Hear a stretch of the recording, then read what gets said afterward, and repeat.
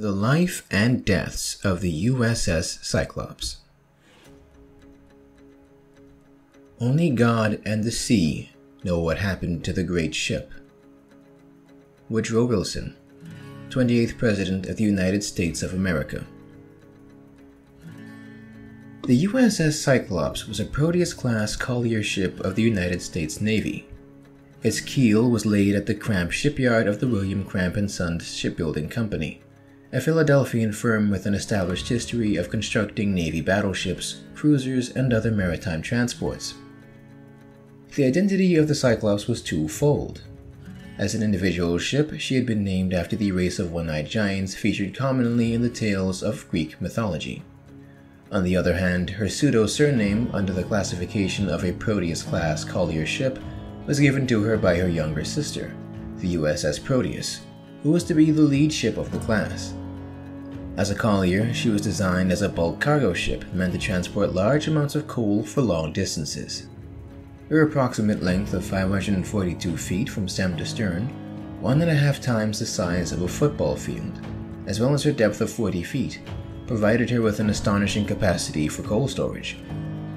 Her overall bulk possessed a displacement of approximately 19,360 tons. She had a breadth of 65 feet and a draft of 27, with a pair of triple expansion steam engines granting her a maximum speed of 15 knots. She could freight a maximum load of 12,500 tons of coal. With her finished construction and launch on the 7th of May 1910, Cyclops would become part of an infamous sisterhood of four, a family of quintuplets whose fortunes would come to mark them as among the most mysterious nautical tragedies of the 20th century. This is her story. The launch of the Cyclops on the 7th of May 1910 would make her the eldest daughter of the Proteus sisterhood. Her launch would be echoed by that of her sibling, the USS Jupiter, on August 24, 1912, the USS Proteus on September 14, 1912, and finally the latecomer USS Nereus on April 26, 1913. All the ships would notably bear a nomenclature relating to Greek and or Roman mythology. All would also quickly find themselves added to the ranks of the United States Navy in short order. Such was the ultimate intent of their creation for the coal-hungry ships of the 20th century USN. While the Jupiter, Proteus, and Nereus would be officially commissioned in the same year of 1913, the Cyclops would bear witness to a role reversal. She would be the last of the four to be officially commissioned, becoming so on May 1, 1917. By then, however, she already possessed experience in the service of the United States Armed Forces. In fact, she possessed more of it than her sisters by ident of her status as the firstborn. Less than seven years prior to her commissioning, and six months after her launch, the Cyclops entered the Naval Auxiliary Service. She sailed within the scope of operations of the Atlantic Fleet, a service component command of the U.S. Navy established in 1906 by President Theodore Roosevelt. Keep in mind this will not be the last time you hear the name Roosevelt in this story. Initially meant to protect newly established naval bases within the Caribbean after the Spanish American War of 1898, in the 1910s the fleet's theater of responsibilities had grown to encompass the wider Atlantic. Cyclops would find her place in the rising influence of the growing superpower by voyaging into the Baltic Sea in order to resupply elements of the fleet's second division. There she would rub shoulders with older vessels such as the battleships USS Louisiana and USS New Hampshire. After returning to Norfolk, Virginia, she operated along the east coast from Newport, Rhode Island to the Caribbean, a region she would gradually become more and more familiar with, further servicing the Atlantic Fleet with her coal as she went. The Cyclops would soon play her first major support role during a conflict in Central America.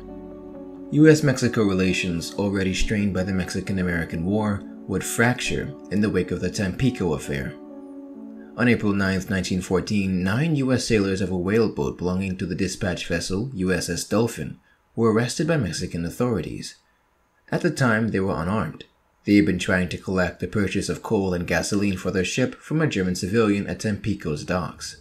They were hardly finished when they were held at gunpoint by a squad of Mexican soldiers and taken into custody for trespassing. Though they were eventually released, upon hearing of the incident, Squadron Commander Rear Admiral Henry Mayo demanded a formal apology from the Mexican government, then under the regime of the dictator General Victoriano Huerta. Mayo demanded that the Mexican officer in charge of the incident be arrested and that there be a 21 gun salute to the American flag. Though the officer was arrested and a formal apology was issued, the act of a salute to a foreign flag was deemed too humiliating by Mexican authorities and was refused. Mayo, however, continued to press that America's honor had been besmirched, soon gaining the agreement of President Woodrow Wilson. With neither side backing down, the situation would continue to escalate until, on April 14th, Wilson would order the Atlantic Fleet, under the command of Vice Admiral Charles Johnston Badger, to Mexican waters. Seeking to unseat the Mexican dictator, after receiving congressional approval for the use of armed forces, Wilson authorized U.S. landings on the beaches of the city of Veracruz. Hoping to prevent an arriving shipment of arms from a German vessel, a force of U.S. Marines and sailors were sent to land. They would shortly be met with local resistance. What was initially a surgical strike meant to capture key infrastructure in Veracruz would turn into a full blown invasion. The city would be taken over by a force of 6,000 US troops and occupied for seven months. The invasion would set off a wave of anti North American revolts across Latin America.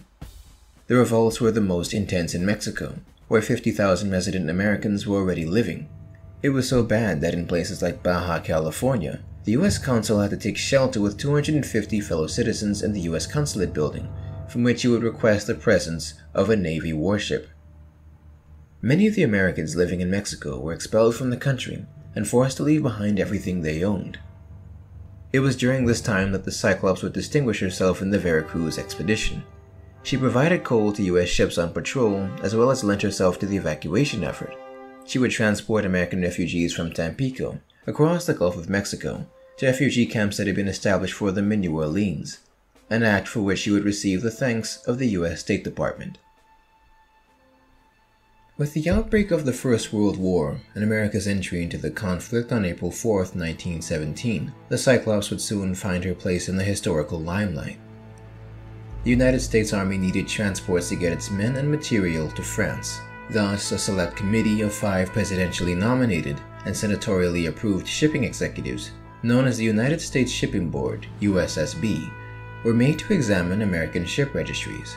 The committee selected 14 American flagged ships that were sufficiently fast, could carry enough fuel in their bunkers for transatlantic crossings, and, most vitally, were in port or not far out at sea. The Cyclops was among the 14 that met these criteria.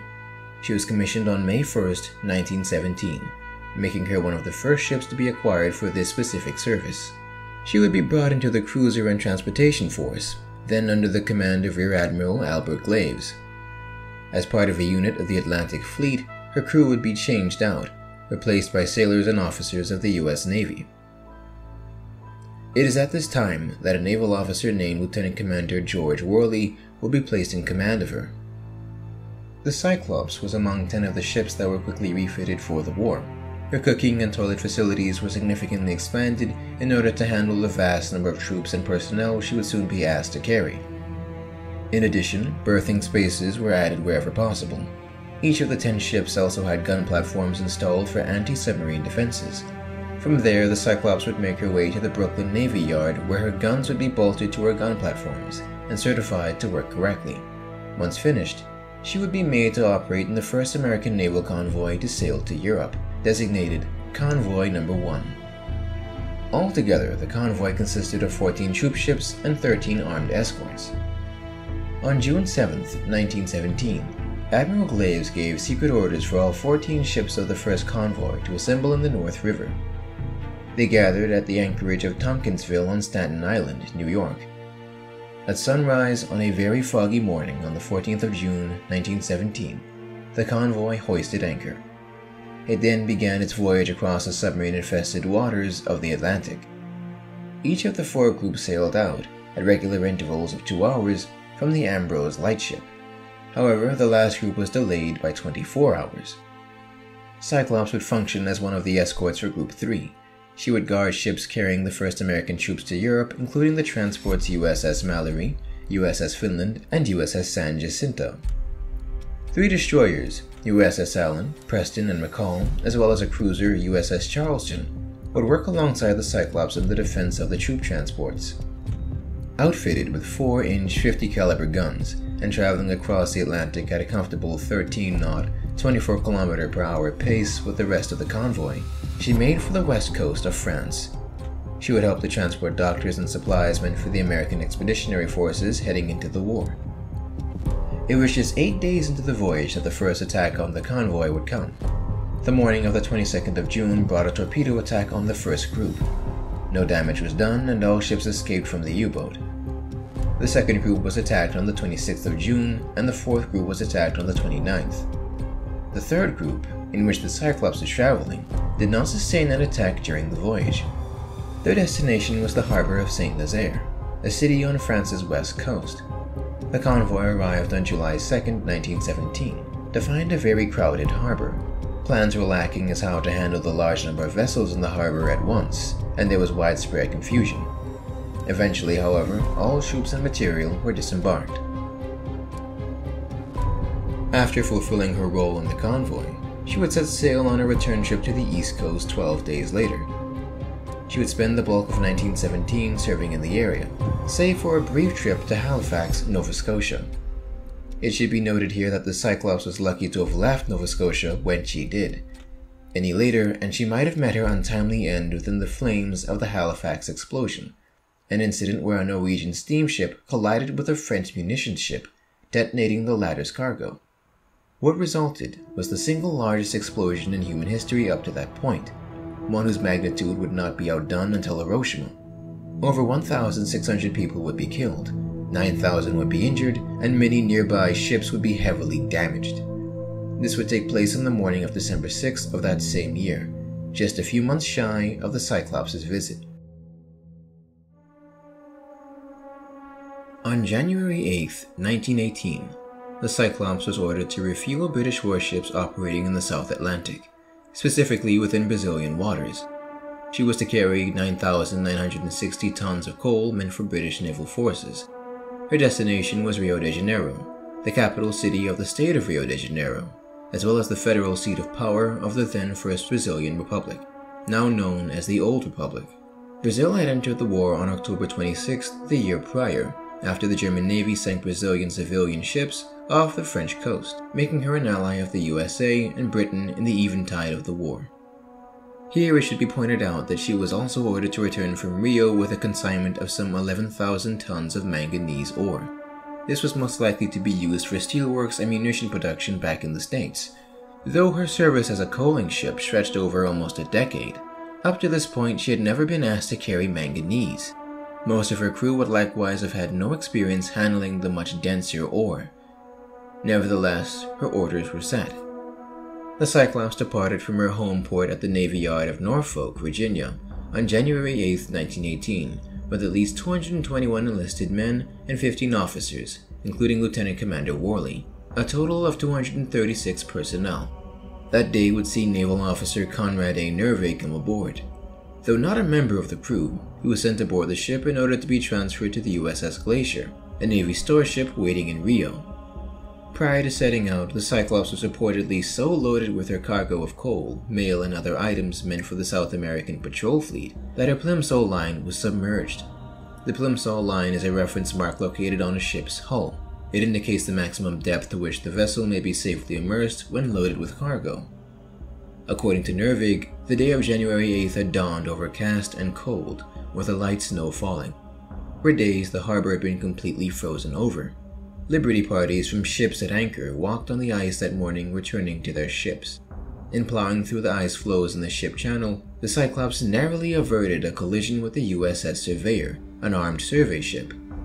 This was the first of a number of foreboding incidents that would take place on the Cyclops' voyage.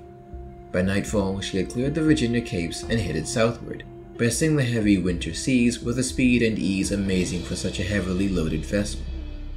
The next day, on January 9, 1918, the Cyclops would be assigned to the Naval Overseas Transportation Service, an arm of the U.S. Navy responsible for its replenishment and military transport ships. Five days later, on January 13th, the captain ordered Lieutenant Harvey Frank Forbes, the executive officer, to his room. He was to remain there under arrest following a disagreement he had with the captain about work aboard the ship. From all reports, this seemed to be a routine matter in ships commanded by Worley. On the evening of the same day, Ensign Kane of Fairview, Colorado, one of the watch and division officers, believed to be in good health by Nervig, was placed on the sick list and ordered to bed by the doctor, Bert Asper. It was the general opinion of those in the wardroom that this was done to save Mr. Kane from being a victim of the commanding officer's unreasoning temper. Nervig could not recall that the doctor made any comment, nor that he was in any way questioned regarding the matter. His act and motive were possibly taken for granted. At this time, Mr. Kane's watch duty had been the mid-watch, which fell to Nervig to relieve him at midnight. The tropical night was temperate under a full moon, providing an escape from the gloom of the wardroom. During this period of Nervig's duty, he supposedly became very well acquainted with Commander Worley, who, according to him, would emerge from his cabin dressed in long woolen underwear, a derby hat, and carrying a cane. In his own words, he, quote, neither apologized for his attire nor even so much as mentioned it, and my salute and good morning, Captain, could not have been more correct or military. His affability soon relieved my anxiety, as I realized this was no official call, but a purely social one. The visit supposedly lasted two hours, wherein Worley regaled Nervig with stories of his home and career at sea, only to come back at other times to reminisce with him then as well, the latter of which was unsure whether he did so out of friendliness or sleeplessness. At some point on the voyage south to Rio de Janeiro, the head of the starboard engine's high pressure cylinder blew off, this cracked the engine and rendered the entire thing inoperable. The remainder of the trip was made running on just one engine, reducing her speed to 10 knots, much slower than her usual 14. On January 20th, after 12 days at sea, the Cyclops came within sight of the coast of South America off Pernambuco, a state of Brazil, at a distance of about 20 miles. Worley quickly changed course to take her further out. Sailing further south, the Cyclops had reached the city of Salvador, the capital of the state of Bahia, on January 22, 1918, after initially running 48 miles past the entrance to the harbor. Nervig noted that the ship's navigator had protested the situation, stating that three more hours of darkness steaming on that course would have had her aground. The navigator, however, was overruled by Worley. The Cyclops most likely put in either at or near the Bay of All Saints, the largest bay on the Brazilian coast on which Salvador was established. While at port, she delivered coal and supplies to the Omaha-class light cruiser USS Raleigh. The Cyclops, however, upon getting underway from alongside Raleigh, ran into her twice. Fortunately, this only led to slight damage. Leaving Salvador, the Cyclops would arrive at Rio de Janeiro on January 28th. She would most likely have pulled in at the port of Rio de Janeiro, a seaport on the western shores of the Guanabara Bay, the second largest bay in Brazil. The balance of her cargo was distributed to the various vessels of the South American Patrol Fleet at anchor there. Also pleasant at the waters of Rio would be the USS Glacier. From this point, Nervig left the Cyclops and went aboard the Glacier to begin his duties there. However, this would not be his last run-in with the collier.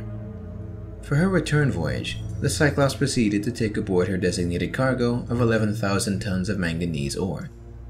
At least 57 passengers had also come aboard for the trip back to the States.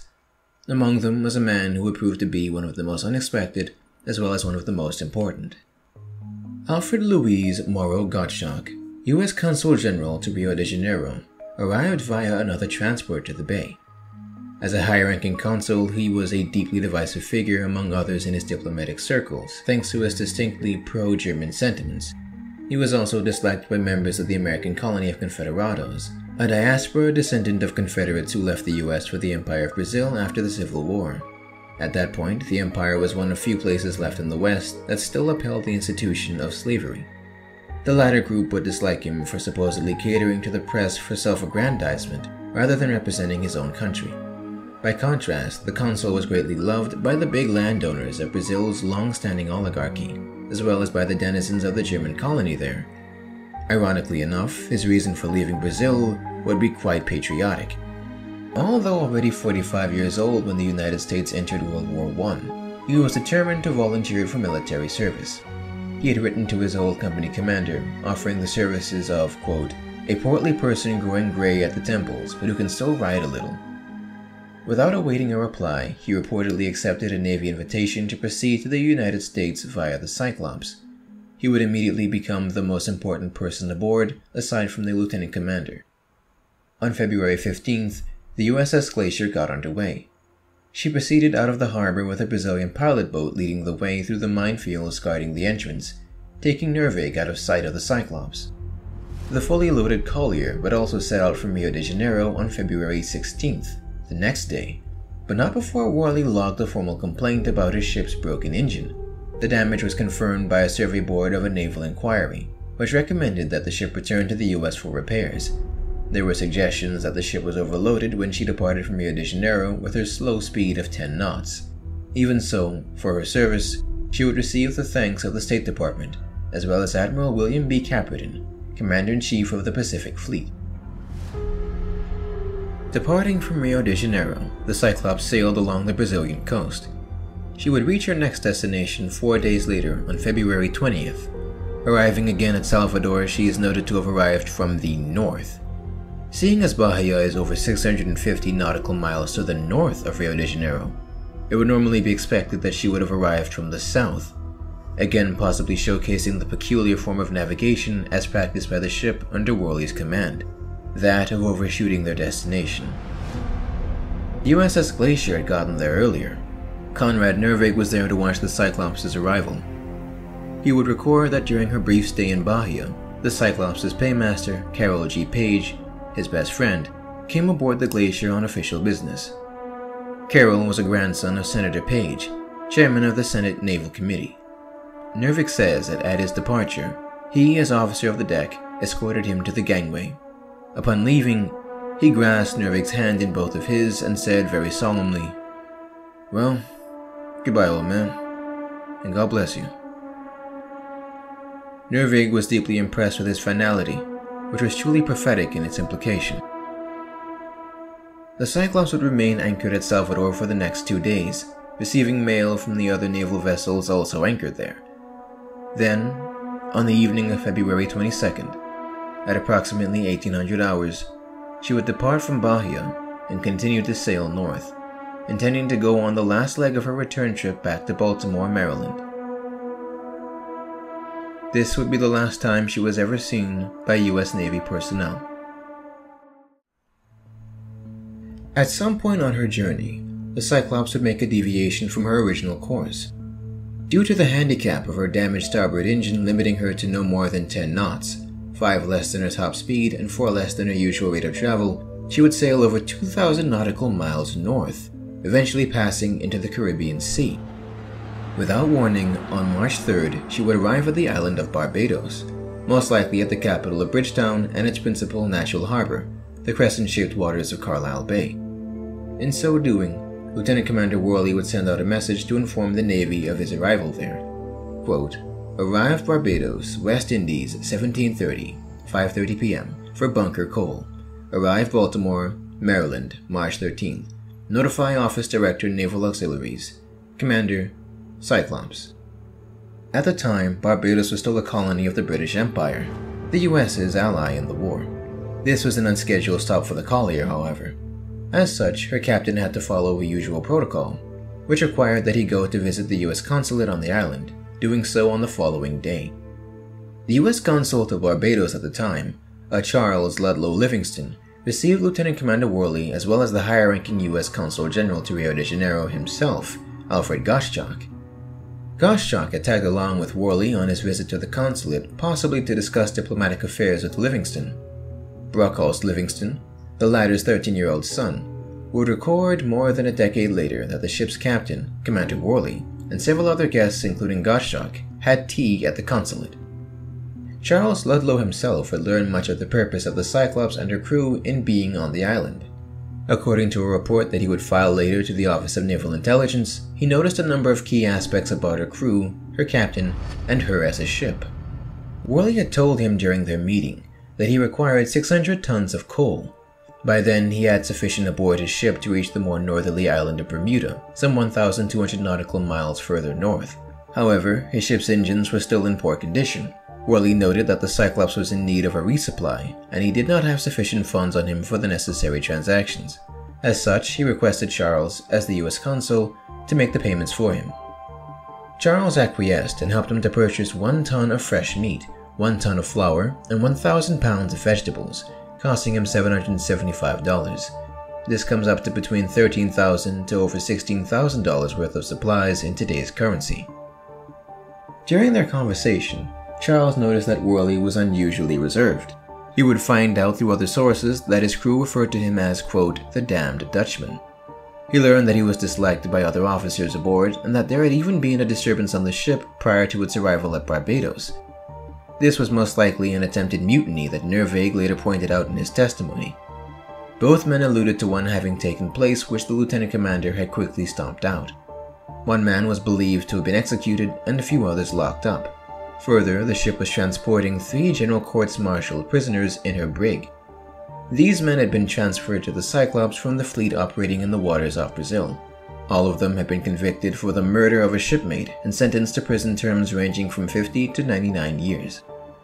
According to Charles's son Brockholst, before the group of guests had departed, they had signed his sister's autograph book, noting that their signatures were, quote, probably the latest ones in existence. No one, of course, thought there was any danger in the voyage, he would go on to say. At around 5 o'clock or 1700 hours, Worley, Gottschalk, and their group would leave the consulate. Brockholst and others would watch them from the beach as they returned aboard the Cyclops. By then, the ship was at a slight list and floating low in the water, leaving her Plimsoll line submerged. Now, with at least 309 people aboard, the ship issued several blasts from her whistle and began to back out of the bay. Then, moving forward, she steamed south, back out onto the sea. Supposedly, her last message after clearing port was, quote, Weather fair, all well. She presumably attempted to resume her course for Baltimore on that evening of March 4th. Brockholst notes, quote, We did not consider this course odd until a few weeks later when we got a cable requesting full details of her visit to Barbados.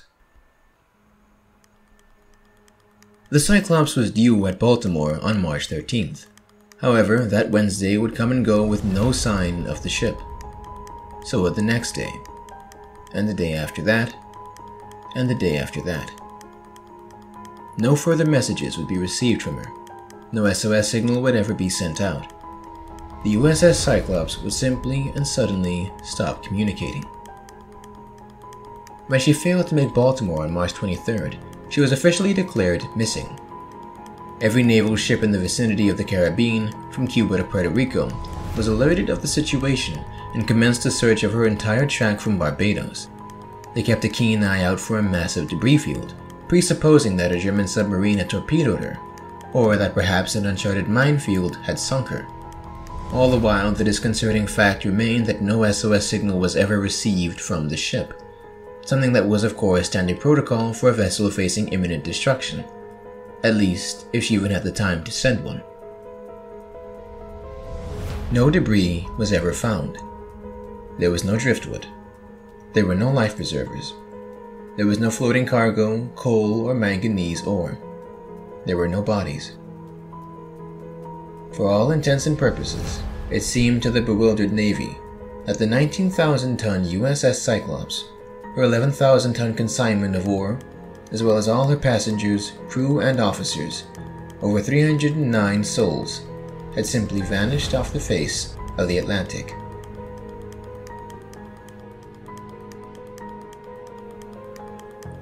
As the First World War was still in its final months, the Navy made no public announcement that the Cyclops was missing. Its upper echelons withheld the information about her disappearance until there was more evidence that something had actually gone wrong. American wireless stations continually intercepted messages from enemy craft, but heard no call for assistance. Radio queries combed the entire Atlantic 24 7 for 10 days straight, but came away with no solid answer as to sightings of the ship all commercial vessels were requested to look out for wreckage that might indicate the fate of the Cyclops. French and American ships searched trade routes between the two ports, but found no trace either of her or of those that had been aboard. Across the board, their searches came up empty. American diplomatic agents abroad were instructed to seek any information on her. The German Navy itself, still an enemy of the US, was also investigated. Wireless messages were examined from the German naval headquarters, most likely the North Sea Naval Station at Wilhelmshaven that managed the High Seas Fleet. Missives from the headquarters to German submarines were decoded.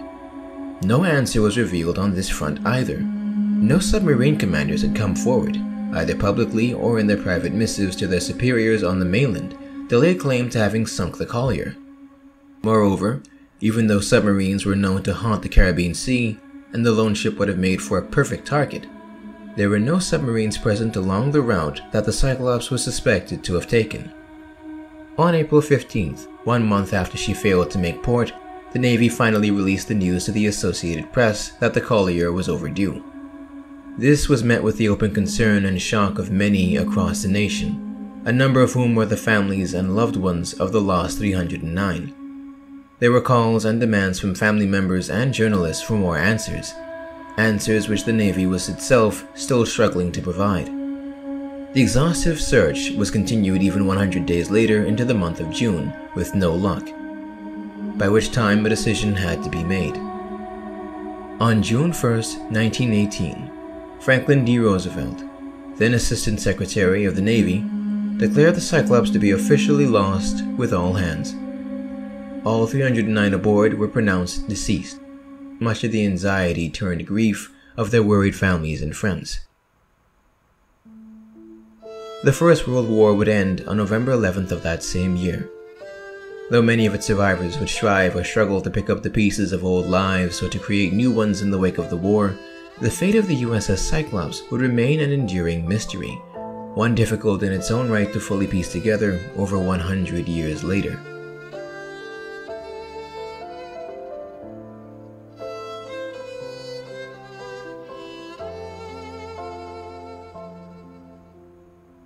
On March 2, 1918, just a day prior to the Cyclops' last known stop, the steamship and tanker Amalco departed from the island of Barbados. She was bound for Boston carrying as her cargo a fresh delivery of molasses. On March 9th, she was traveling just off the coast of Virginia when she supposedly spotted the collier on her way to Baltimore, the latter having possibly caught up to her or at least come within sight. This occurrence was even recorded in the ship's log. The weather off the Virginia Capes on the following Sunday, March 10th, was reportedly violent. W.J. Riley, third officer aboard the Amalco, had reported to the Washington Times newspaper that he believed the Cyclops had been lost in a storm that swept the seas 125 miles south of the island of Nantucket. The Amalco herself was caught in this storm and received damages to the extent of $130,000, roughly 2,600,000 in today's currency. Riley believed that the speed of the Cyclops would have placed her directly within the destructive path of the gale. To add to that, various weather services reported a massive destructive storm in the general vicinity of the Capes. It is proposed that a series of problems compounded together, accentuated by the harsh weather, to cause the ship to sink such a short distance from Baltimore. At the time, this idea served to heartbreakingly debunk the claims of Mistress Samuel W. Worley, the wife of the Cyclops' captain, who made a statement the day before that the Cyclops was safe. Her claims had been based on rumors, as well as a telephone conversation she'd had with a friend, a naval officer, who assured her that the Cyclops was safe and would be heard from shortly. It was discovered that the source of the officer's information was indefinite, and it could be argued that he was simply trying to offer the worried wife of Lieutenant Commander Worley what comfort he could. However, this theory of the Cyclops' sinking off the Capes is still in doubt, Given that she was due in Baltimore on the 13th, it made little sense for her to be so close to her final destination, so far ahead of her scheduled date of arrival. Even if it was her captain's intention to arrive ahead of schedule, it would not have been a realistic goal. The ship's speed was reduced to an estimated 240 nautical miles per day because of her damaged starboard engine, and was 1,800 nautical miles away from Baltimore. She was sailing at 10 knots, as such, it would have taken her at least a week to arrive at her destination from Barbados. That, if anything, would have made any sightings of her on March 11th or later far more believable. Not the 9th. Simply put, she could not have been there off the Capes. Or at the very least, she could not have been the same ship spotted by the Amalco. Even if by some maritime miracle the Cyclops had indeed arrived off the Virginia Capes on that Saturday, it would have been under the tensest conditions. Both the ship's surviving engine and its officers would essentially be fraying at the edges, the former from the Herculean strain of such a feat, the latter at what most sane seamen would see to be an incredibly unnecessary and dangerous risk. Something that would have further burdened the already strained relationship between them and their skipper. Moreover, to further discount this theory, the Amalco's captain would later deny the claim of the sighting set forth by his third officer.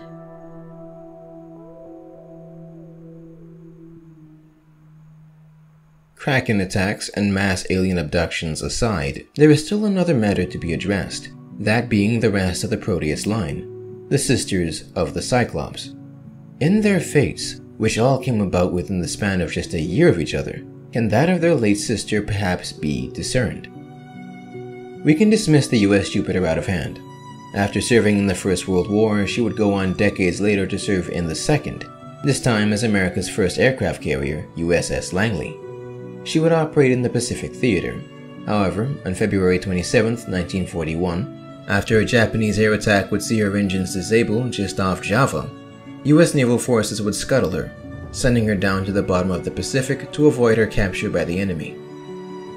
The USS Proteus, the flagship of the Proteus Collier line, also served all the way to the end of the First World War. She would later be decommissioned and sold to Saguenay Terminals Limited, and operated under the umbrella of the Canadian Merchant Navy. She would, however, meet her end sometime after November 23, 1941.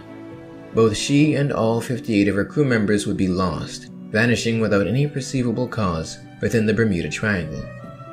The USS Nereus would also survive the First World War. She would be decommissioned and sold almost two decades later to the Aluminum Company of Canada, she would transit shipments of cargo from the Caribbean to aluminum plants in Canada and the United States.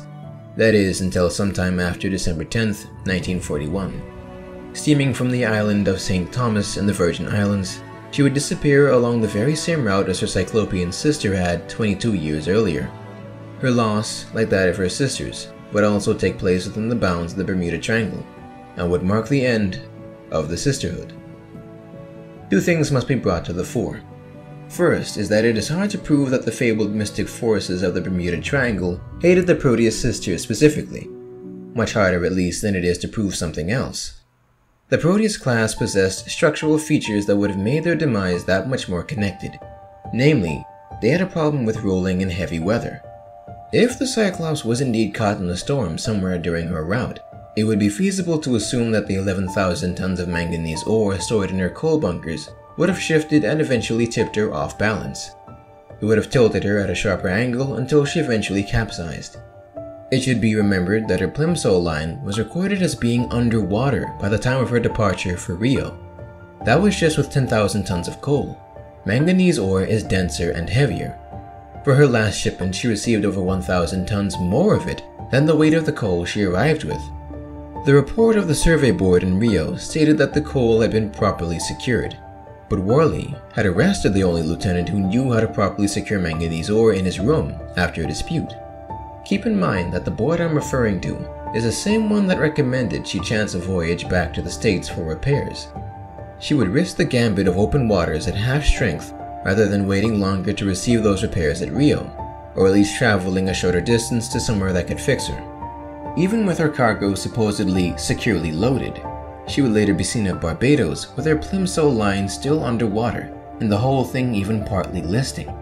To take things further, there were reports that she previously suffered from hull damage due to a coal fire, hull failures, or separation of pipes. These are not signs one would necessarily attribute to a healthy ship.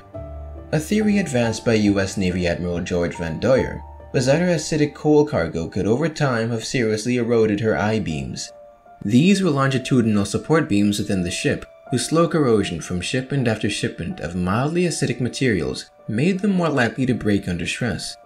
A combination of weakened structures, dense ore, and heavy seas would be the most likely cause for her loss. Then there is the area in which the Cyclops had traveled. The Bermuda Triangle, though of course not recognized as such by the US Board of Geographic Environmental Considerations, was an unpredictable region of ocean meteorologically until very recently. The majority of Atlantic tropical storms, hurricanes, rogue waves, and other natural phenomenon pass through it. Prior to days of improved weather forecasting, these dangerous storms crept up on and claimed many ships. The intermingling Gulf Stream contributes to this as well, with rapid, sometimes violent changes in weather. Additionally, the large number of islands in the Caribbean Sea creates many areas of shallow water that can be treacherous to ship navigation. Absent direct proof of the ship herself, we're left to connect a few dots. It appears most likely that a synergy of events caused the loss of the Cyclops, the ship was operating on a single shaft because of the cracked cylinder that had knocked her starboard engine out of commission. This reduced her speed and maneuverability, and left her at risk of greater damage if she were to suffer a further engineering problem. She was loaded deeply, at or beyond her marks. This cargo was new to the ship. It is not clear that the officers, crew, and stevedores in Brazil knew how to properly load, stow, and trim the ore. There have been reports that she previously suffered hull damage due to a coal fire as well as other infrastructural issues. She also had problems with extreme rolls and bad weather. On at least one occasion, it was reported that her cargo had shifted in her coal bunkers. Water entering the hull would affect the ship's stability and buoyancy, probably resulting in progressive flooding and ultimately causing her to sink. This process may have been unperceivable to the bridge watch, particularly if it occurred during dark or extreme weather. They would have had little notice that the ship was about to sink, if Cyclops had not previously lost her remaining engine, she may have continued to steam along, driving the bow underwater or capsizing. This was a conclusion even Josephus Daniels, then Secretary of the Navy, would come to accept as the most possible theory. Though this may not have happened in the case of the March 9th storm, it could have taken place in any number of the other storm systems that populated the region, ready to toss or split the lethargic, heavily laden ship in two. The weight of its own charge and the power of nature could and may have sentenced her to the bottom of the Atlantic, along with her cargo and crew.